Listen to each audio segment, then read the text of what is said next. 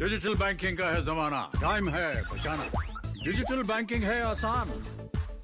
करो चाहे कोई भुगतान। Any time any way safe है फास्ट है हर पेमेंट उंगलियों पे सेट है। लेन देन के हैं ऑप्शंस कई। I M P S N F T UPI भी चौबीस घंटे करते ये काम। पेमेंट आसान और रहे आराम। आरबीआई कहता है, जानकार बनिए, सतर्क रहिए।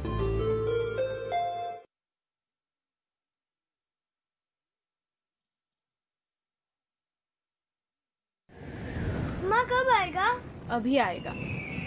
अरे बोलो ना माँ कब आएगा? बोला ना अभी आ जाएगा। ये ले आ गया कुआँ। अरे कुआँ नहीं माँ हमारे घर नल से जल कब आएगा? नल से चल अरे गुड्डी बहुत जल्दी आएगा पानी। जल जीवन मिशन आ चुका है। हम एक कदम उठाएँगे तो सरकार दस कदम उठाएगी। सच? तुम्हारे मुँह में घी चक्कर घी शक्कर नहीं माँ। स्वच्छ जल।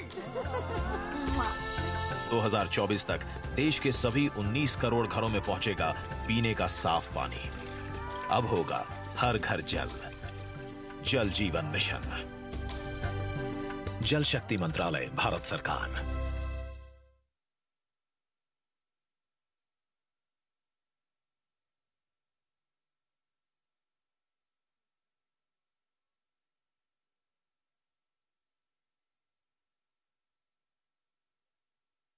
अरे गरीब गरीब गरीब गरीब को हक दिलवाएँगे, उस पर अत्याचार ना होने देंगे।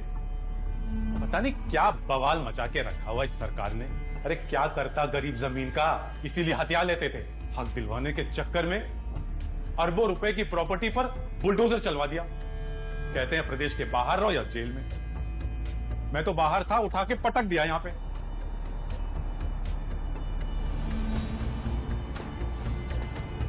न जाने कब आएँगे मेरे पुराने दिन। 2017 से पहले गरीबों का हक मारकर जो अपना घर भरा करते थे। 2017 के बाद उन पर काबू होने से गरीबों के जीवन में जो बदलाव आया है वो फ़र्क साफ़ है। फ़र्क साफ़ है।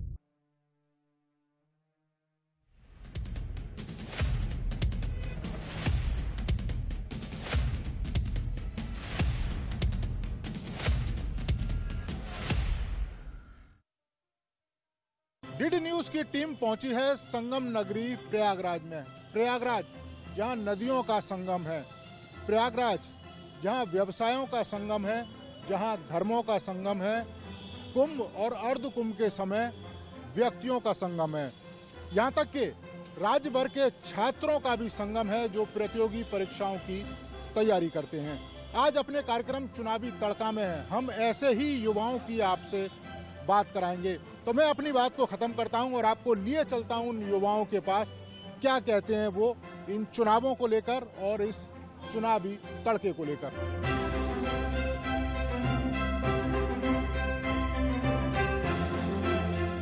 आर्थिक रूप से गरीब बच्चों के सपनों को पंख लग सकें, उसके लिए मुख्यमंत्री योगी आदित्यनाथ ने मुख्यमंत्री अभ्युदय योजना शुरू की है। ये योजना उन छात्रों के लिए है जिनमें प्रतिभा है लेकिन पैसा नहीं है जिनके पास। आईएएस, आईपीएस और पीसीएस अधिकारी बनना चाहते हैं लेकिन पैसे की कमी के कारण वो अच्छी कोचिंग नहीं ले सकते। लेकिन अब योगी सरकार ने अभ्युदय योजना के तहत कोचिंग की व्यवस्था की है फ्री बिल्कुल जहाँ पर राज्य के जो छात्र हैं वो कोचिंग ले सकते हैं। आपको बता दें अभी तक जो मंडल मुख्यालय है वहीं पर यह सुविधा थी लेकिन योगी सरकार ने इसे आगे हर ज़िले तक पहुँचाने की शुरुआत की है और ऐसे ही प्रयागराज में एक अभ्युदय कोचिंग चल रही है। अगर मेरे पीछे मेरे कैमरामैन आपको दिखाएँ कि यहाँ पर जो बच्चे हैं वो आईएएस, आईपीएस और सिविल सेवा की जो परीक्षाएँ हैं उसकी तैयारियाँ यहाँ कर रहे हैं और जो प्रोफेसर हैं टॉप क्लास के प्रोफेसर हैं इस समय CL Tripathi, doctor CL Tripathi इन बच्चों को पढ़ा रहे हैं और बता रहे हैं कि किस तरीके से उनको सिविल की जो तैयारियाँ हैं, वो करनी है, कैसे उनको परीक्षा के लिए किन किन सब्जेक्ट पर किन किन चीज़ों पर फोकस करना है। बेसिकली योगी आदित्यनाथ का ये जो निर्णय है, वो इस बात से प्रेरित है कि बड़ी संख्या में जिस समय आपको पता है कि कोरोना हुआ था तो बड़ी संख्या में उत्तर प्रदेश के जो छात्र थे, वो दूसरे राज्यों में फंस गए थे और उनको वहाँ से निकाला गया। उसके बाद ही सरकार ने एक योजना बनाई कि जो छात्र हैं वो अपने गृह जनपद पर ही बेहतर कोचिंग ले सकें। उसके लिए ये कोचिंग की जो सुविधा है, वो शुरू की गई है। और आपको ये बता दें कि ये कोचिंग की ये सुविधा नाम मात्र की नहीं है, क्योंकि यहाँ से बड़ी संख्या में जो छात्र हैं उन्होंने पीसीएस की परीक्षा पास की है। कुछ छात्रों ने प्रारंभिक परीक्षा पास की है और मुख्य परीक्षा की जो तैयारियाँ हैं वो यहाँ पर कर रहे हैं। क्या क्या नाम है आपका? राज। राय ये बताओ कि आपने प्रारंभिक परीक्षा पास की है। यहाँ कैसी तैयारियाँ होती थी और ये गरीब बच्चों के लिए कितनी हेल्पफुल है जी सर मैं इसमें ये कहना चाहूँगा कि हमारे जो पॉलिटी के सर हैं, हिस्ट्री के सर हैं, इकोनॉमिक्स के सर हैं, उन्होंने काफ़ी अच्छे तरीके से हमारा सहयोग किया है। और जैसे कि सर का ये अच्छा तरीका था कि मतलब कि वो अगर आपको पढ़ा रहे हैं तो एक दिन में बहुत ज़्यादा ना पढ़ाकर, नॉर्मली वे में उतना पढ़ाएँ जो बच्चों के दिमाग में भी चला जाए और वो घर पे जाके दोहरा भी सकें और उनका ताकि धीरे धीरे धीरे धीरे बहुत ही ऐसा विकास हो कि वो काफ़ी लंबे समय तक चले। और मैं इस साल मेरा ये प्रथम प्रयास था और मैंने इस बार पहली बार ही परीक्षा दी थी। जी, बिल्कुल सर। हम लोग उसी वर्ग से आते हैं जो आर्थिक रूप से बहुत ज़्यादा सक्षम नहीं है। फिर भी सरकार का ये जो प्रयास है सर, हम लोगों के लिए बहुत हेल्पफुल रहा है। और यहाँ के जो टीचर हैं सर, वो mostly sir CL Tripathi sir ji हैं। सर, वो इस ढंग से पढ़ाते हैं सर कि जितना पढ़ाते हैं, क्लास में याद भी करवा देते हैं। और कॉन्सेप्ट बेस पढ़ाते हैं सर और कोरोना की वजह से थोड़ी दिक्कत भी हुई थी लेकिन सर ऑनलाइन भी क्लासेज करवा के तैयारी सर हम लोगों की ठीक ठाक हुई इससे। और सर प्री प्री एग्ज़ाम आपने पास किया फिर आप कैसे तैयारी कर रहे हैं? अ, सर अभी मेंस के लिए भी सर ने हम लोगों को एक व्हाट्सएप पे ग्रुप बना के वैसे मैसेज करके और नोट्स प्रोवाइड करके सर हेल्प कर रहे हैं। और अ, सर मैं यही कहूँगा सर कि यहाँ के जितने टीचर मिले सौभाग्य से मिले हैं सर बहुत अच्छा लगा। बहुत फ़ायदा हुआ। प्री क्वालिफाई करने में सीएल त्रिपाठी सर कोरोना काल में भी कोचिंग छुट्टी थी तब पर भी सर ने प्रज्ञा प्रवाह चैनल के माध्यम से हम लोग का बहुत हेल्प किया। और यहाँ पे जितने भी टीचर थे सभी लोग सब सभी लोगों का विशेष योगदान रहा प्री क्वालिफाई करने में। अभी मुख्य परीक्षा की आपकी तैयारी कैसी चल रही है? सर अच्छी चल रही है। सर अगर इस तरह की कोचिंग नहीं होती जो फ्री में गरीब बच्चों को जहाँ पर सिखाया जा रहा है तो फिर कितना मुश्किल होता है आप लोगों की तैयारी की सर, वैसे देखा जाए तो इलाहाबाद में बहुत सारी कोचिंग्स हैं, लेकिन क्या है कि गवर्नमेंट ने ये चलाया है ताकि लड़कों, गरीब लोगों का, यानी हर लोगों का कहा जा कहा जा सकता है जो इसमें एडमिशन लेंगे। बहुत बेनिफिट होगा, बहुत फ़ायदा होगा, क्योंकि टीचर बहुत काबिलियत है, बहुत अच्छे तरीके से पढ़ाते हैं यहाँ पे। पूरे मन लगाकर अच्छे तरीके से, एकदम नॉलेजफुल के साथ। लोग, हम लोग को समझ में भी आता है और बहुत डेवलप तरीके से। अगर अनदर कोचिंग्स में जाएँगे तो पैसा भी देना पड़ेगा। इससे पहली बात, जो आर्थिक रूप से कमज़ोर व्यक्ति उनके लिए तो बेस्ट है परफेक्ट है, वैसे सबके लिए है। ये नहीं कहा जा सकता कि ये योजना सिर्फ़ नाम मात्र की है। आप टीचर्स को देखिए, कितने अनुभवी और कितने जो सीएल त्रिपाठी सर जिसकी जिनकी सभी लोग तारीफ़ कर रहे हैं, उनकी मुझे सबसे अच्छी बात जो लगती है, वो चीज़ों को याद करवाने का उनका तरीका। वो ऐसे रिलेट कर, करके याद करवाते हैं कि आपको मज़े मज़े में याद भी हो जाए और आप कभी भी ना भूलें। और हिस्ट्री वाले सर का जितना भी अनुभव है, वो पूरी कोशिश करते हैं कि हम सभी को प्रोवाइड हो, उनका अनुभव जो है। क्योंकि वो बहुत अनुभवी हैं, जो बताते हैं थर्टी फाइव उन्होंने मेंस दिए हैं और अपने पूरे अनुभव को, अपने सभी छात्रों को। ऐसा नहीं है कि सिर्फ़ कुछ लोगों के लिए, सभी को अपना अनुभव वो शेयर करते हैं। हम लोग ये चाहते हैं कि जो सरकार द्वारा अभिदय योजना चलाया योजना चलाया गया है, इसके अंतर्गत हम लोग पढ़ाई कर करके सरकार के अधीन हम लोग सरकार नौकरी प्राप्त करें पीसीएस क्वालिफाई करें तथा हम लोग आई भी क्वालिफाई करके और नाम रोशन करें। उत्तर प्रदेश से हम लोग भी चाहते हैं कि बिहार और उत्तर प्रदेश जो है, सिविल के लिए गढ़ माना जाता है।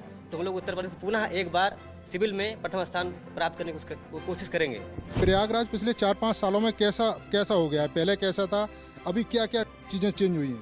सर बहुत ज़्यादा डेवलपमेंट हो गया है यहाँ पे और कई सारी चीज़ें चेंज हो गई हैं। पहले इतना मतलब कि बहुत ज़्यादा ओल्ड टाइप दिखता था अब सारी जगह सड़कें बहुत अच्छी बन गई हैं और भी डेवलपमेंट हुए हैं। इसकी लोकप्रियता इसी से पता चलती है कि कुछ ऐसे बच्चे हैं जो यहाँ इनरोल नहीं हो पाए हैं, वो आकर के रिक्वेस्ट करते हैं कि, सर, क्या मैं क्लास में बैठ जाऊँ? तो इस रूप में इससे पता चलता है कि जो प्राइवेट कोचिंग इंस्टीट्यूट्स हैं, जो हमारा इंस्टीट्यूट है, जो मुख्यमंत्री अभ्युदय योजना के तहत शुरू किया गया है, वह बहुत सफल रहा है और बच्चों की बॉडी लैंग्वेज भी पता चलता है। जैसा कि अभ्युदय का जो नाम है, हमारी भारतीय सभ्यता और संस्कृत का बहुत बड़ा नाम है। महर्षि कणाद ने इसके बारे में कहा था यह तो अभ्युदय निश्रेय सिद्धि सधर्म जहाँ पर अभ्युदय अभ्युदय अर्थात संपूर्ण विकास जहाँ हो जाए, वही धर्म है। एक निःश्रेष्ठ सिद्धि होती है मतलब मोक्ष की प्राप्ति होती है। मोक्ष सबसे बड़ी उपलब्धि है, लेकिन इस संसार में जो सबसे बड़ी उपलब्धि है, उसी को बोलते हैं अभ्युदय। तो निश्चित रूप से बच्चे न केवल प्रशासन के क्षेत्र में अपना अभ्युदय करेंगे, बल्कि जहाँ पर जाएँगे, उस पूरे क्षेत्र का, समाज का, परिवार का, सबका अभ्युदय करेंगे। ये हमने बात की प्रतियोगी परीक्षाओं की तैयारी करने वाले छात्रों के साथ। लेकिन इसके अलावा भी एक बड़ा वर्ग ऐसा है जो अपना व्यवसाय खड़ा करने के लिए स्किल ट्रेनिंग ले रहा है, क्योंकि आजकल जमाना स्किल का ही है। जिसके पास स्किल है, उसके पास न केवल व्यापार है, बल्कि वो दूसरों को भी रोज़गार दे सकता है। तो आइए आपको ले चलते हैं। स्किल की ट्रेनिंग ले रहे युवाओं के पास और बताते हैं कि वो अपने सपनों को साकार करने के लिए कैसी मेहनत कर रहे हैं।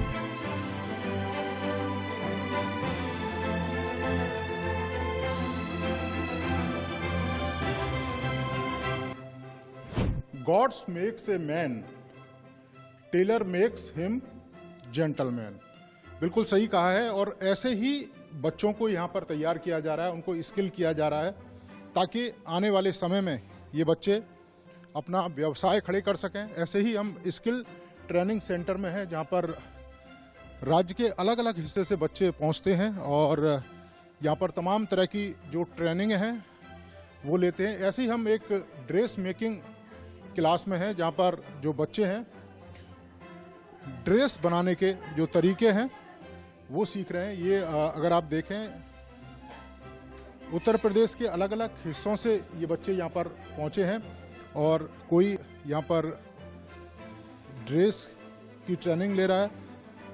आने वाले समय में जब इनकी ट्रेनिंग पूरी हो जाएगी, ये अपना व्यवसाय कर सकते हैं। कुछ नई शुरुआत कर सकते हैं। मेरे पीछे कैमरामैन कुलदीप अगर दिखाएँगे तो ये खूबसूरत ड्रेस हैं जो आपने बड़े बड़े फ़ैशन शो में देखी होंगी।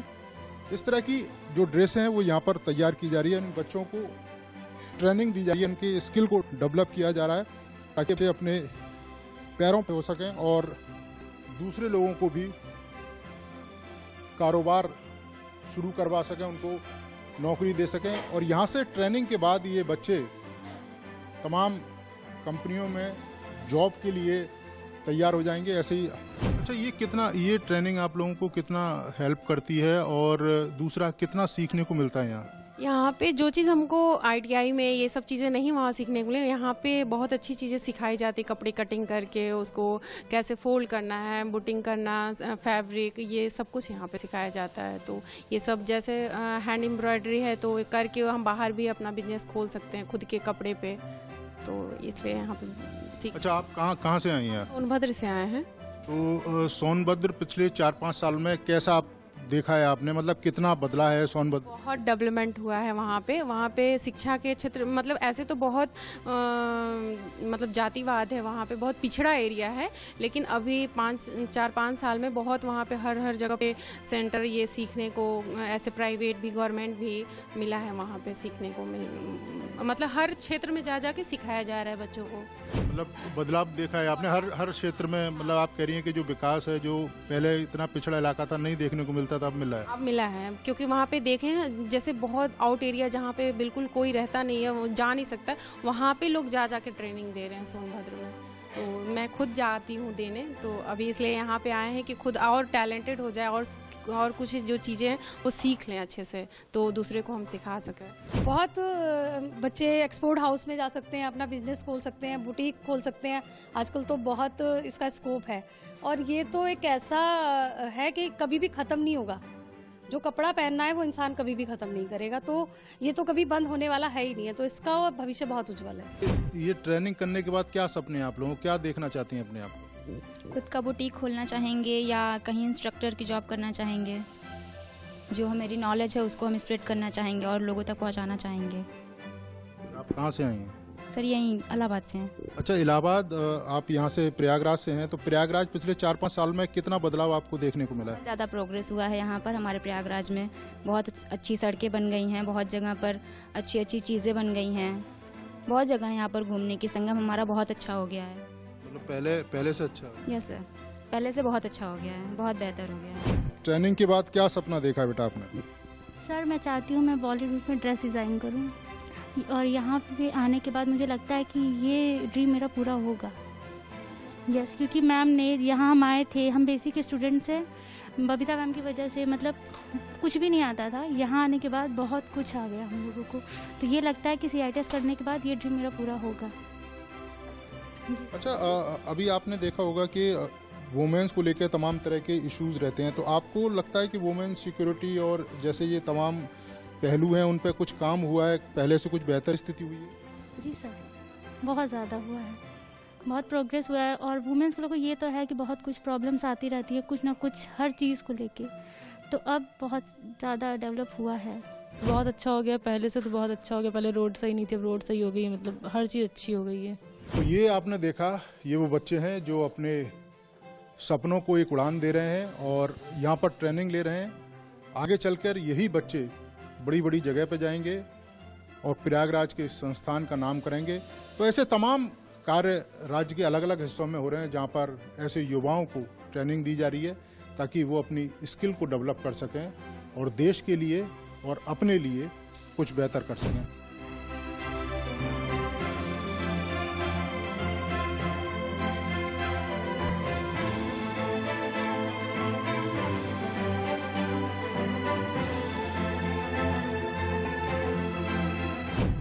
फिरते मेहताब दिखाएँगे तुम्हें, हमसे मिलने आइए, प्रयागराज दिखाएँगे तुम्हें। प्रयागराज शायरों, गीतकारों और कवियों का शहर रहा है। अभी तक चुनावी तड़का में हमने दिखाया था कि युवा क्या सोच रहे हैं, किस तरह के इश्यूज़ हैं। तो अब हम थोड़ा सा हल्का कर देते हैं और आपको कुछ कवियों के पास ले चलते हैं, क्योंकि चुनाव भी है कुछ समय के बाद। तो कभी अपनी दृष्टि से क्या सोच रहा है क्या समझ रहा है। जनाब चुनाव भी आने वाला है नेता भी पहुँचेंगे यहाँ। जी जी जी। क्या कहेंगे आप? निश्चित रूप से मुझे पहले तो ये कहना है कि देश की राजनीति का जो चरित्र बहुत विभत्स हो गया था वो कहीं ना कहीं अब अपने आकर्षण की ओर बढ़ रहा है और वो दिख रहा है आकर्षित होता। चाहे वो आध्यात्मिक सनातन धर्म की भूमि पर हो, चाहे विकास के धरातल पे हो, चाहे सड़कों के चौड़ेपन का हो, निश्चित रूप से और कुछ ऐसे नेता, जो नेता खुद को कहते हैं, लेकिन नेता की इस परिभाषा को नहीं समझते। उनके लिए एक व्यंग है कि सड़क के मोड़ पर एक कुत्ते ने आत्महत्या कर ली। सड़क के मोड़ पर एक कुत्ते ने आत्महत्या कर ली, उसके गले में एक पट्टी टंगी थी। ऐ दुनिया वालों, मैं इतना तो बुरा नहीं कि तुम मुझे नेता कह के पुकारो। निश्चित रूप से अगर किसी को नेता कहने में ये ग्लानी हो रही है वो भी वो वफादार जानवर जिसे हम कुत्ते के रूप में पालते हैं अगर उसकी पीड़ा है तो उसकी पीड़ा को समझ के हमको नेता की नीति को समझना होगा। आने वाला समय कैसा हो लोगों का? मैं अपने दो उमदा शेर के माध्यम से मैसेज देना चाहता हूँ और मैसेज ये कि यूँ तो बुराई करना एक अपना संस्कार है। समाज में कुछ पक्ष का बुराई करना एक संस्कार है और राजनीति में पक्ष और विपक्ष होता है। उसका काम होता है अच्छा हो या बुरा, उनकी हमें आलोचना ही करनी है। मैं उन लोगों से कहता हूँ, अपनी आँखों को खोलिए और देखिए। विकास के उस चरण से जुड़िए जो निश्चित रूप से हमारे अतीत के आचरण को भी सामने लाता है कि काश ये बहुत पहले हो सकता था, आज जो हम देख पा रहे हैं। उस स्थिति में मुझे अपना एक शेर याद आता है कि उड़ते हुए पंछी को निशाना न बनाइए। उड़ते हुए पंछी को निशाना न बनाइए, आकाश को धरती पे यूँ न लाइए। उड़ते हुए पंछी को निशाना न बनाइए, आकाश को धरती पे यूँ न लाइए। इस दौर के मुंसिफ से है बस इतनी गुजारिश। इस दौर के मुंसिफ से बस इतनी है गुजारिश। चंदन को महकने की सजा न सुनाइए। चंदन को महकने की सजा न सुनाइए। मैं यही कहना चाहता हूँ हाल में कि से नज़दीक से अच्छाई यही संदेश देती है कि इतने अच्छे बनो कि दुनिया नेकी तुमसे सीखे, मत बनो बुरे इतने की दुनिया तुम पे थूके। मात पिता की सेवा में ही प्राण तस दिए श्रवण कुमार ने, सत्य अहिंसा भुला न पाए, लाख सहे दुख बापू ने। करना सीखो सम्मान बड़ों का, छोटों में तुम प्यार लुटाओ, हम जोली का साथ निभाए, लिए पता का मानवता की उन्नत के पथ पर आगे आगे आगे आगे आगे आगे बढ़ते जाओ। धन्यवाद। तो ये हमने आपको दिखाया था प्रयागराज से चुनावी तड़का कवियों के साथ। प्रयागराज में और भी बहुत सारे रंग हैं जो हम आपको दिखाएँगे। तो चलिए हमारे साथ दिखाते हैं प्रयागराज के और दूसरे रंग।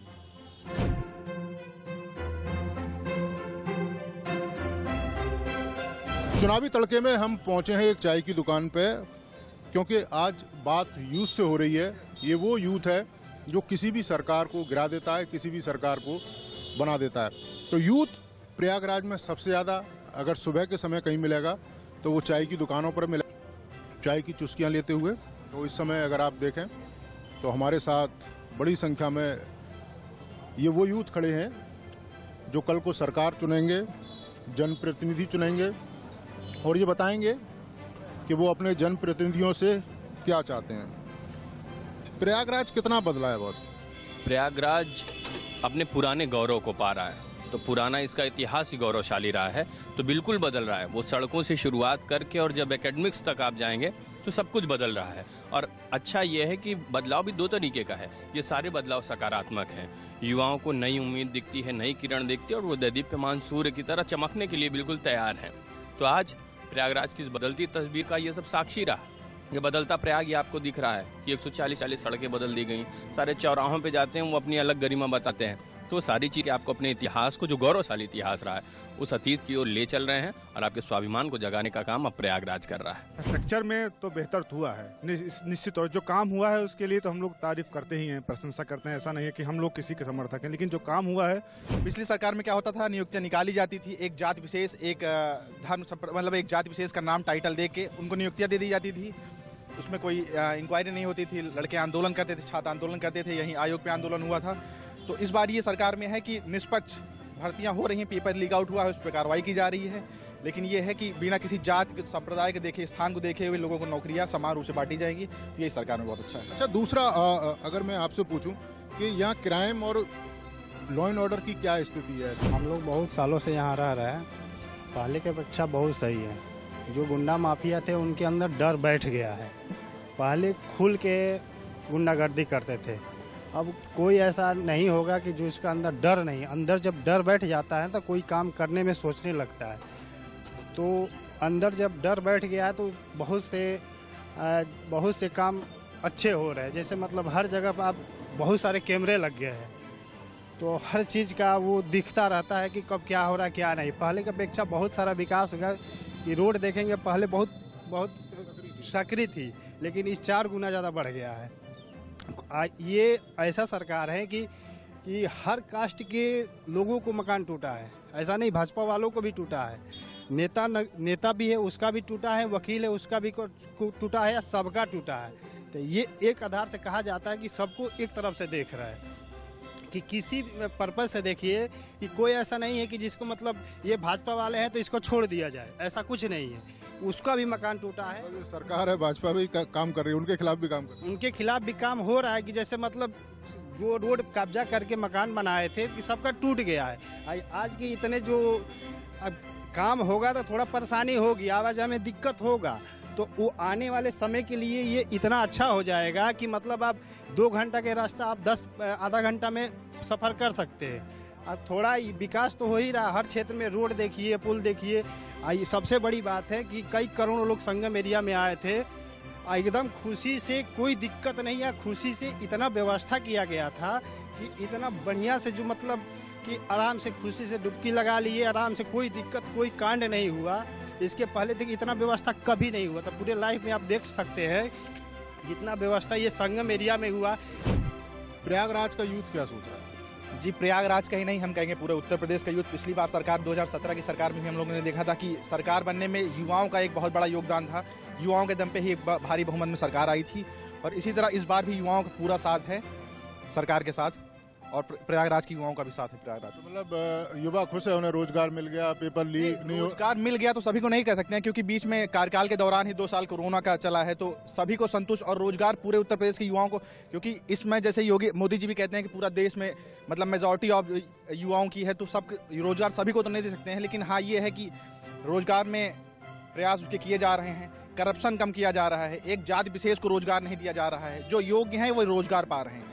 बताओ कि जैसे आप लखनऊ देखते हो दिल्ली देखते हो बड़े बड़े शहर देखते हो आपको क्या लग रहा है कि प्रयागराज में क्या कमी रह जा रही है जो पूरी होनी चाहिए? ये सनातन धर्म मतलब धर्म विचारों का और हमारी आशाओं का वो शहर है तो इस सरकार में किया गया है। देखिए आप संगम में क्षेत्र में एक भव्य मेले का आयोजन किया जा रहा है वो जो पुरानी सरकारों में दबाया जा, जा रहा था उस पर ज़्यादा ध्यान नहीं दिया जा रहा था। तो संस्कृतियों को हम लोग वापस लाने की कोशिश कर रहे हैं और डेवलपमेंट धीरे धीरे होता जा रहा है। अब आप सड़कें देख लें चौराहे देख लें रोड देख लें बाकी आप जनता से पूछ ली तो डेवलपमेंट हो रहा है धीरे धीरे होगा एक बार की तो पूरा मेट्रो सिटी जैसे स्मार्ट सिटी में लाया गया है नाम लाया गया है। ओपन जिम्स खुल रही हैं चौराहे बदले गए हैं लाइट्स वगैरह मतलब हर सारी चीज़ें सही की हैं। आपको लग रहा है क्राइम कम हुआ है। सबसे बड़ी बात इलाहाबाद में क्राइम कम हुआ है। सिविल लाइन्स में पहले ये हालत थी कि एक सभी जानते हैं एक जात विशेष के लोग के लोग रहते थे जिससे चाहते थे वसूली करते थे जो चाहते थे। सबसे बड़ी चीज़ है जो क्राइम कम हुआ है। बात रही हमारे सनातन धर्म की तो हिंदुत्व को ला के जागे गया है। डेवलपमेंट हो रहा है उसके साथ। ये है हम लोग धर्म के साथ अपने डेवलपमेंट पुरानी संस्कृतियों के साथ हम लोग अपने डेवलपमेंट कर रहे हैं। आप आप लोग आप लोग खुश हैं मतलब जो काम हो रहा है? बिल्कुल खुश हैं बिल्कुल। पहले प्रयागराज में क्राइम था वो बहुत ज़्यादा होता था। आपको लग रहा है क्राइम कम हुआ है? जी बिल्कुल कम हुआ है। जिस तरह से पहले जो है समाजवादी की सरकार थी तो बहुत ज़्यादा एक जाति विशेष को लेकर क्राइम होते थे। तो अभी वो कम हुआ ही काफ़ी हद तक। बीजेपी की सरकार में सब खत्म हो गया कोई क्राइम नहीं। ख़त्म तो नहीं कह सकते पर एक हद तक तो कंट्रोल हुआ ही है। तो जो भी होगा, एक धीरे धीरे गति से होगा। चुनावी तड़का, में ये युवा अपनी बातों का तड़का लगा रहे थे। तमाम जो इश्यूज़ हैं, उन पर बात की इन्होंने, और यही कारण है कि ये पॉलिटिकल पार्टियाँ इन यूथ को अपने साथ रखना चाहती हैं, क्योंकि उनको पता है कि जिसके साथ यूथ होगा, उसी के हाथ में उत्तर प्रदेश का सिंहासन होगा। तो ये आपने देखा चुनावी तड़का में प्रयागराज से यूथ के साथ। अब अगली बार किसी और दूसरे शहर से, किसी दूसरे मुद्दों के साथ हम चुनावी तड़का कार्यक्रम में फिर आपके सामने पेश होंगे एक नए इशू और नई बातों के साथ। तब तक पूरी कैमरा टीम को दीजिए इजाज़त। नमस्कार।